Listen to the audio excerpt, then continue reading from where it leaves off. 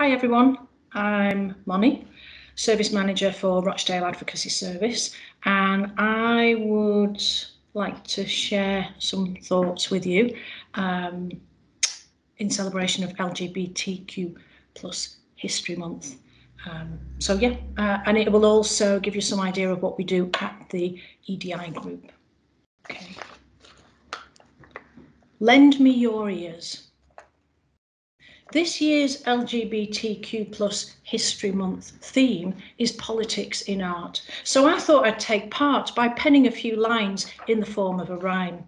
So lend me your ears for a moment or two, and I'll tell you what we do at the EDI LGBTQ plus group. We raise awareness about why it's important to understand how every look, comment, action can land and go against the ethos and values where together stand proud.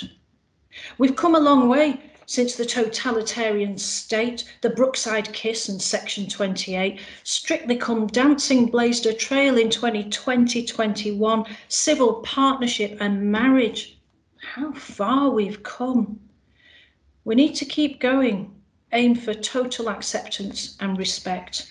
Make sure every slur or slander comment is dealt with and checked to create a space in our work where we can be free to be, making together a place where we don't have to hide and can take joy in celebrating our pride. Thank you.